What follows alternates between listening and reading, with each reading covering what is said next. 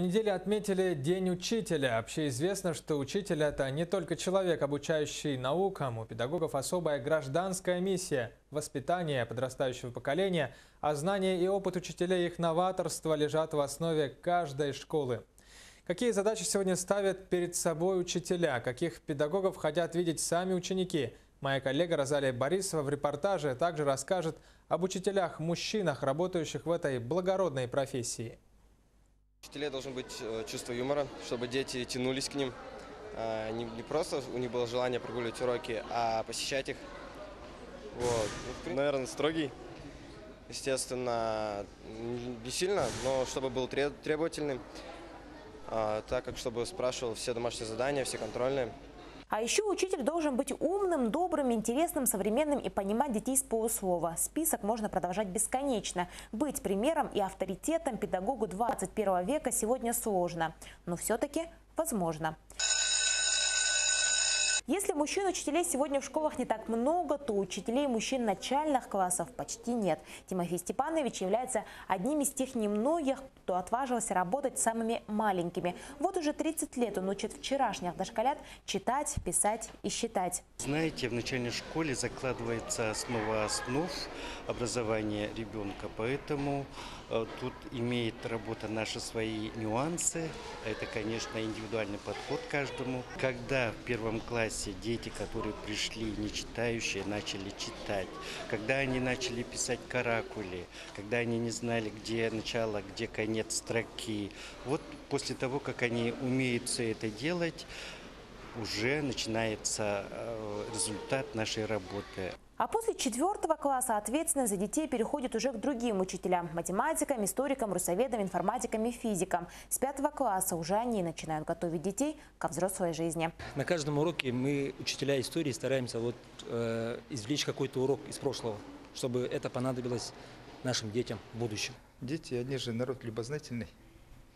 Если они что-то встречают новое, то вполне это им интересно, и они с интересом занимаются.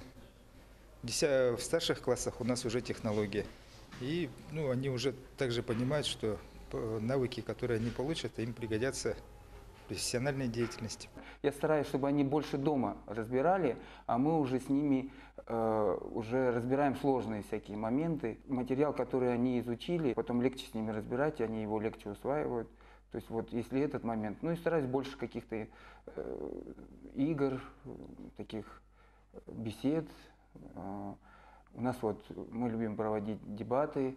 Дебаты и интерактив сегодня учителя используют повсеместно, иначе дети просто не усваивают материал. Во-первых, долгие какие-то э, рассказы учителя, они уже не воспринимают. Им уже нужно, конечно, интерактивность, им нужна картинка, чтобы была обязательно. Поэтому у нас сейчас больше вот не доска, а презентации.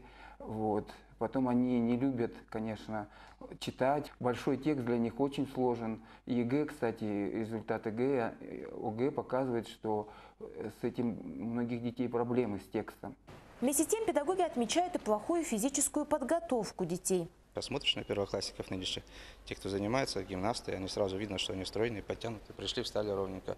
А многие дети распоясаны, разбалованы физически слабые, потому что родители, к сожалению, мало уделяют внимания. И чтобы сегодня каждый день бороться за внимание учеников, желание учиться, педагоги признаются, нужно ежедневно повышать квалификацию, быть в курсе новых интерактивных форм обучения. Но самое главное, нужно любить свою профессию. И тогда и ученики отзываются. Андрей Викторович, он у нас ведет физкультуру. Он добрый и веселый. Да, я хотел бы знать историю, как Сергей Леонидович. Ну, думаю, мы этому научимся в течение 11 лет.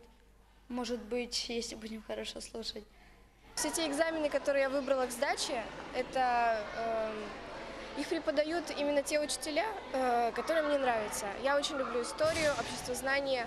Я хотела бы сдавать биологию, литературу. Сегодня на плечи педагога ложится еще большая задача – быть не просто учителем, а наставником, который сможет поддержать, дать нужный совет и подготовить ко взрослой и самостоятельной жизни своих учеников. Розалия Борисова, Георгий Григорьев, Якутия. День за днем.